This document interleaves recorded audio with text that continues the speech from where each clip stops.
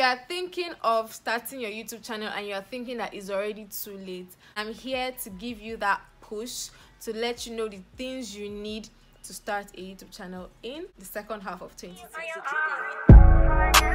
Hello everyone, welcome back to my channel. If you're a new subscriber, welcome. My name is Rukevwe Onuwa and if you're a returning subscriber, thank you, thank you for always coming back to watch me. So today guys, I'm going to be talking about things you need to start a YouTube channel in 2020 yes i know we're already in like the second half of 2020 so it might feel like it's too late for you to start but i'm here to give you that ginger that ginger that you're looking for i'm here to give it to you. Anyways i'm going to be looking down a lot because i have like things written down in my notebook.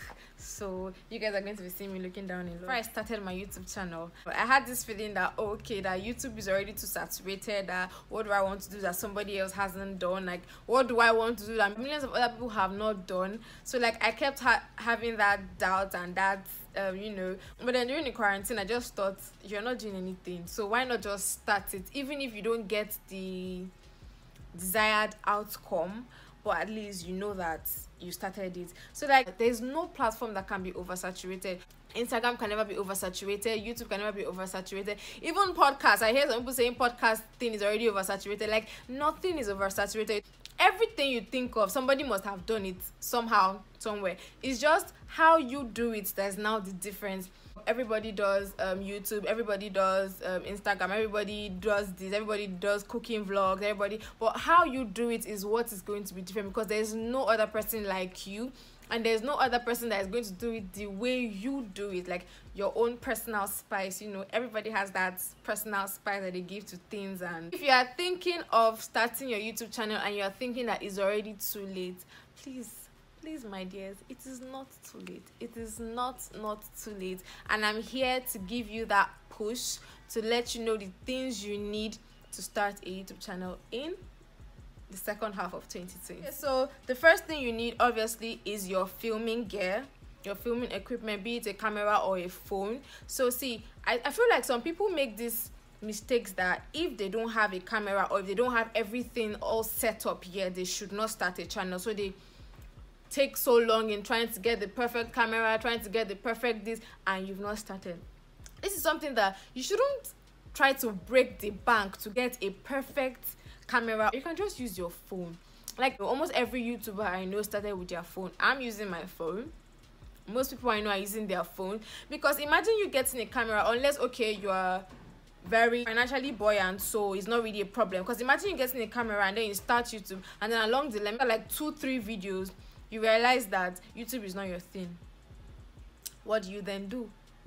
What do you do with your camera? But if you're using your phone and along the line you realize that YouTube is not your thing, nothing spoiled. You continue your with your phone like that, like nothing spoiled, nothing lost. You shall tried it and it did not work out. So you get so I feel like trying to wait to get the perfect equipment, the perfect filming gears and the perfect filming editing whatever you want to get this you want to get that you want to get lighting you want to get this one that one that before you start no just start with what you have. You just need to know how to use your camera well. You need to know how to get the perfect lighting. Just know how to improve use your settings your camera settings well that will make your video pop. And i'm going to do a video on that. How to get clear videos using your camera like how to get bombers 4k videos using just your camera. It doesn't matter if it's a 5 or 6 or whatever. I'm going to do a video on that. So the second thing you need is lighting lighting goes with um, your filming equipment camera.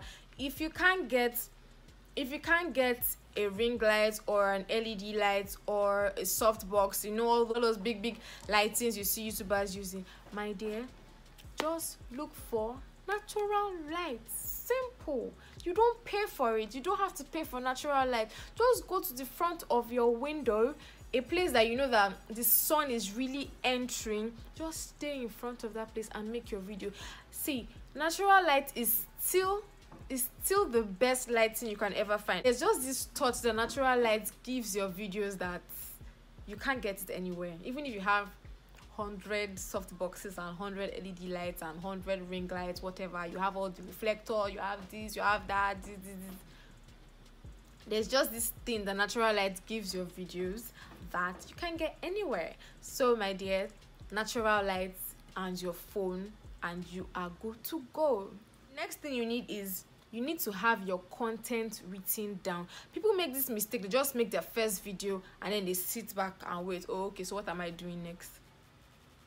When another person already has like 100 ideas done and as they are filming one they are preparing for the next one they are filming when they're preparing for the next one and you are just sitting down and thinking okay i've done the first video what am i doing next? Okay i've done the second video what am i doing next? No you need to before you start your channel you need to have at least 50 ideas written down or 50 is too much at least 30 ideas written down 30 video ideas okay you get you do a get to know me you do a how to you do a this this, this that that you just have everything written down do not just wait till you film the first one and you upload it then you not start thinking of okay so what am i doing next in order for you to be consistent in order for you to be to keep up with the you know with your subscribers demands and all that you need to write your content down prior to your starting YouTube. So if you're thinking of starting your channel, make sure all the content at least you have 30 content ideas down trust me eh, you might not actually use all 30 of them but at least worst comes to the worst. If you can't think of anything you know that you've written it down. The next thing you need is your editing software. So there are different editing softwares. There are the ones you have to buy. They're not free. Like the ones on um macbook you have final cut pro. On your normal your um, Windows PC, you have um, Adobe Premiere Pro, but those ones they are not free. You have you actually have to buy them. Like when I said I didn't plan on paying for an editing software, so I just had to look for free editing apps that I can use on my laptop or on my phone. So the editing app I use on my the free editing app I use on my laptop is Filmora. It's free. Yeah, you know there are some paid um there are some paid features that yeah there's some paid features that if you don't pay you can't use them and then there are free features but most of most of the things you need are actually free then on your phone you can get Videolip imovie. I personally use Videolip and imovie. Like i get different transitions different effects. Um it's just easy for me to use those ones than using my laptop. But some people find it easier to use their laptops. If you're looking for an edit for editing softwares you have um Filmora is free on your laptop. Adobe Premiere Pro if you're ready to pay. But if you're not ready to pay, I feel like if you're just starting out, you shouldn't spend so much money on YouTube on getting all this stuff, fancy stuff. Don't spend so much money yet. When you have when you are like settled and you know that yes, you're going to be doing this for a long term time and you have your family like your subscriber and you have your target audience already on YouTube, then you can start improving yourself and getting spending money on stuff then you have to look for um, software to edit your thumbnail you can use canva canva snapper there's over um Phonto I, I did a video on this already. Then you need to get youtube studio Tube tubebuddy just all those apps that can help you. The next thing you need is your background prop. Yes you can decide to i feel like your background shouldn't be distracting although you some sometimes you might not be able to help you but you can just get a cloth what is behind me is a cloth. Before i started my channel I actually, I actually had to like watch different videos. And then i saw a video kelechi made on using um different cloth as your background. You just need to get this um this thing from mini so there's like a hook and adhesive and hook it to your wall and then you put your clothes and you're good to go. Just get something easy to find and affordable. You get props you get any kind of thing you just want any kind of theme you want behind you. I just me i don't like anything really distracting. If you notice i was using one orange cloth before but i found it too distracting. I don't know i just found it too distracting and i feel better using this one that is just plain. And i know that you're focusing on my beautiful face. Because what else do you want to focus on oh my voice yeah what i'm saying. Please focus on what i'm saying too. Thank you. Get your props wallpapers and the rest. You get all those um, full plants um what else? Background cloth um and the rest of them your niche. You have to think about what you want to create videos on what your niche wants to be. And now you watch some videos that tell you to niche down that okay you should be doing you should be um putting out a particular content like if you are doing makeup stick to makeup or if you are doing hair stick to hair. But then i don't think that as a new youtuber or as a growing youtuber you should niche down immediately. Because then you, you tend to like box yourself into one place. You get you yes you like makeup or you like me i actually makeup i like hair i like talking. So i'm like how do you want me to just stick to one thing i can't do that.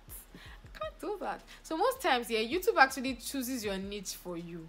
Like when you make videos on hair you make videos on skincare you make videos on um makeup you make videos on you you make talk videos. And then there's like there are some videos that actually get more views than others. So when you notice that okay this this particular video of mine on it gets more views and it gets me more watch hours then you know you have to make more of those kinds of videos. My talking videos actually get me more views. Like when I talk about YouTube or when I talk about my personal life or I actually find out that they actually get more views and more watch time than when I'm just doing makeup or doing my hair or you know. So I feel like people just like hearing me talk. So why not give the people what they want. So when you are starting off, you don't have to start off with a particular niche or start off doing this particular thing. You can just do a couple of things that are related. Please don't go and do tech video and then tomorrow you are doing makeup. Like you see it doesn't even go. So i do not think that you should niche down. I just think that you should have like um related content and then just put it out there. And that's when you start your youtube you have to get your um channel intro you have to like make sure you make your channel intro and your channel art. Please and please and please and please for your channel intro it shouldn't be more than five seconds. Five seconds is even too much. But it shouldn't be more than five seconds. Please don't give us a whole um montage movie montage abi one two minutes video because to be showing us your face. We're not here to see your face. Whenever i watch a video and i'm seeing a long i'm seeing long intro i always click out. I don't what do I want to use your face for? Just give me a two seconds intro with your name and whatever, or five seconds highest. Please don't waste my time showing me your face. I'm going to see your face when we're when i'm watching your video. Like what are you introducing sister or brother what are you introducing? Please keep it short. Keep it short and simple. And then your channel art.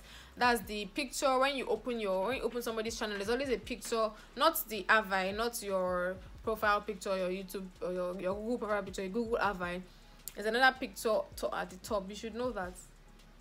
If you want to start youtube you should know what a channel art is. So please do not leave that place bare just put your channel at you already know the the dimension. I think it's the same dimension with with thumbnail one to 720 by 1280 so it should be the same di dimension. So another point please always make your research. I see people asking some kind of questions that they shouldn't even be asking if you are about to start youtube.